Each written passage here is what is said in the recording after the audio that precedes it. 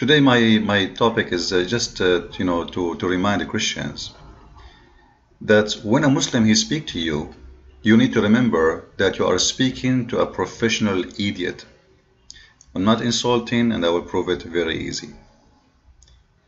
All of you Christians, you notice that the first thing a Muslim he will do, the first thing a Muslim he will do is to accuse you of corrupting the Injil, which is supposedly the gospel of Jesus Christ, which is supposedly given to Isa by Allah. Now, right away, Christians, what they do, they start arguing with the Muslim Abdul. Oh no, no, no, you are wrong, and then he will say to you in the uh, in the uh, uh, the most older manuscript, we don't find this verse there, and we don't find that verse there, and how you explain that? And then the Christian, he start refuting him and showing him that he is lying or making things up, etc. So what I want to do, I want you to think differently, Christians, and don't fall into the trap of the devil of the Abdul. Abdul are little devils. Uh, they eat the wrong food. They think with the wrong words. And that not because they read it from right to left. Uh, no but because uh, their mentality is does not exist. You see, a Muslim he's the same as a copy.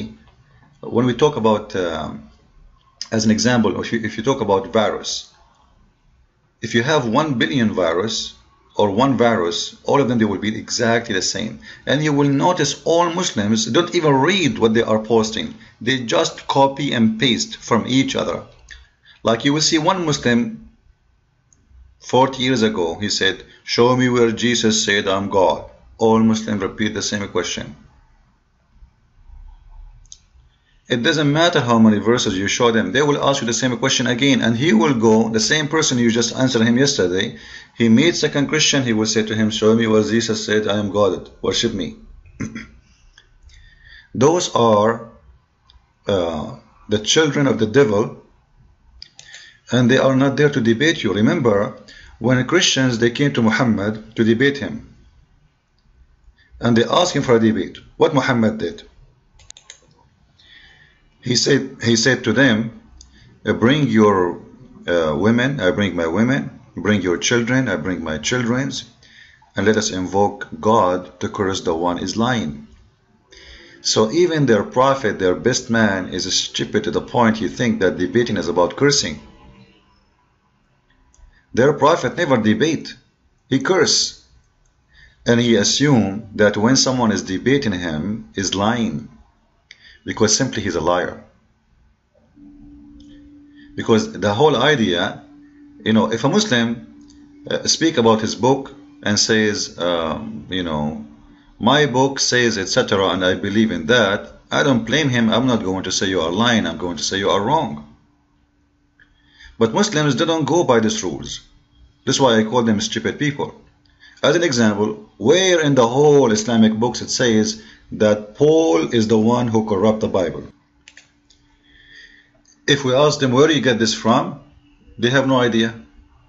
I challenge the Muslims, it's a challenge, to tell me where you got that Paul is the one who corrupt the Bible. Actually, in the same time, we show them from Ibn Kathir, Al-Qurtubi, Al-Tabari, many Islamic books, scholars, big scholars from Muslims saying that Paul was a great messenger of God. But Muslims today, they copy did that, and you know, they are copy paste. Those people, they don't really read. They don't even know the religion. And the funny, they come to you to teach you your book. Now today, uh, I'm looking at uh, YouTube, and I found this Abdul uh, comment uh, in my uh, in my uh, video.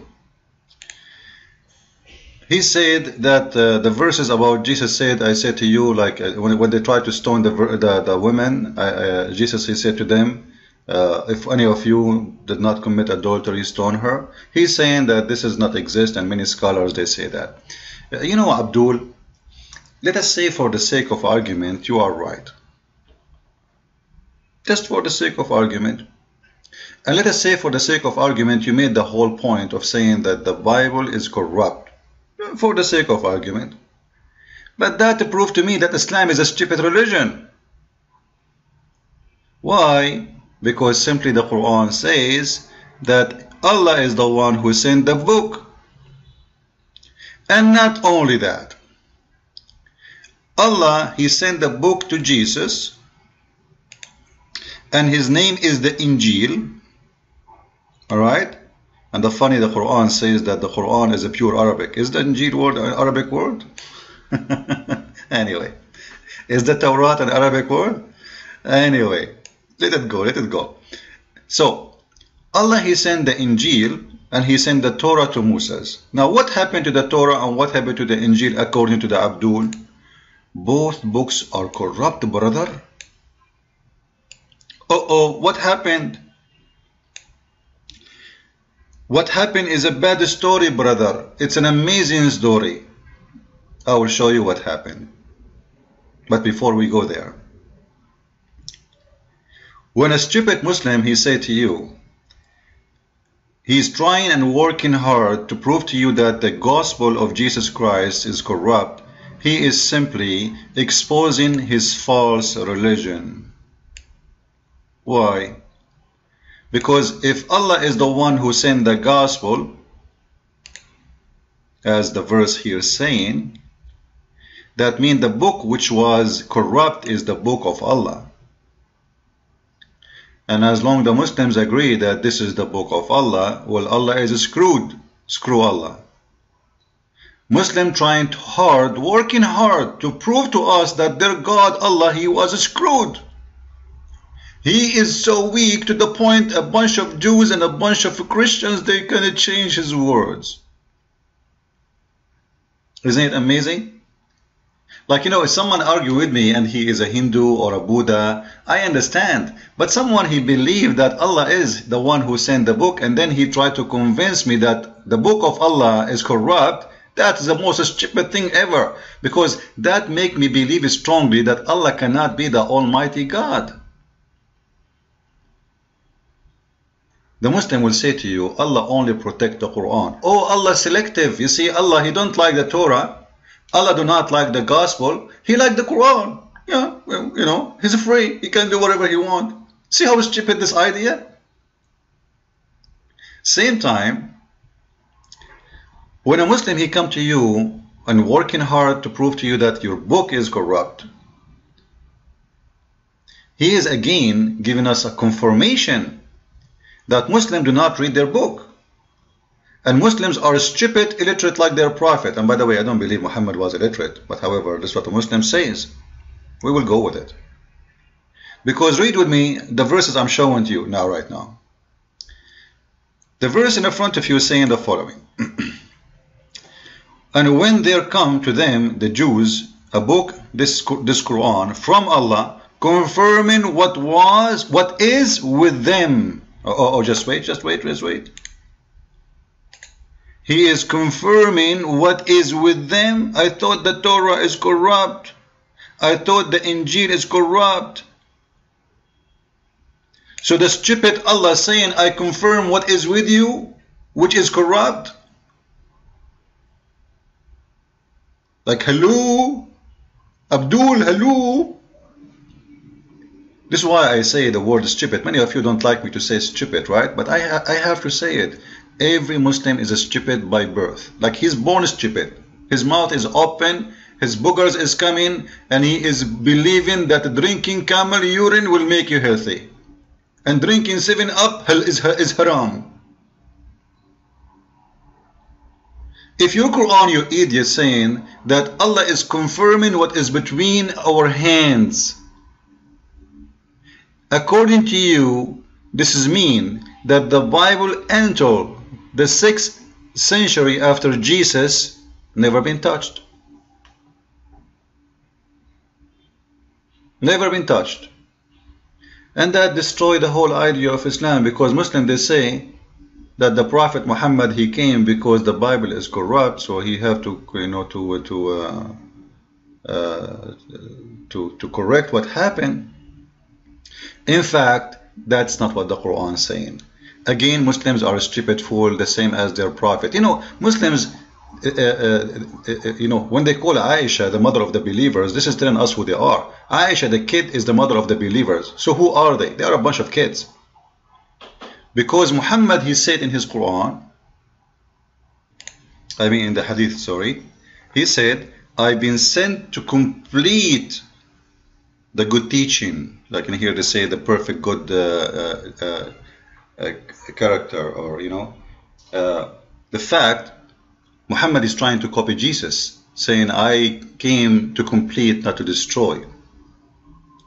So when a Muslim he say that what before Muhammad is destroyed and all the books before Muhammad is corrupt, that is a contradiction for the Quran itself because as we are showing you in front of your eyes, that their book saying it clearly